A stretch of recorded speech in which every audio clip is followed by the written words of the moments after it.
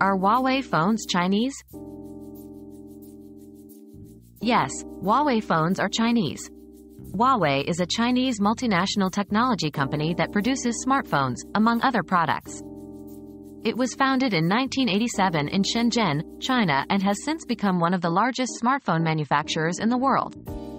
Huawei phones are known for their advanced camera technology and sleek designs.